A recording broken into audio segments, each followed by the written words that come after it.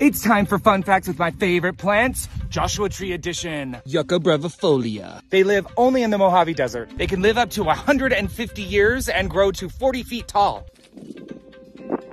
Joshua trees aren't actually trees. They're in the agave family. They have really shallow root systems, which is why you should never climb a Joshua tree.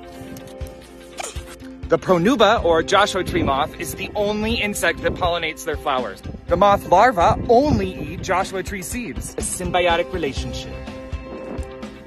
The tip of the plant produces two new shoots only after flowering. So if it has a single stalk, that means it's never flowered. The giant ground sloth used to eat the Joshua tree fruit and then poop the seeds miles away. That's how the forest spread. But no more giant ground sloth. Now they only grow a couple feet away from each other like these. As the climate warms, these trees are not gonna be able to move to a colder climate unless we do something about climate change. Let's do something about climate change, please.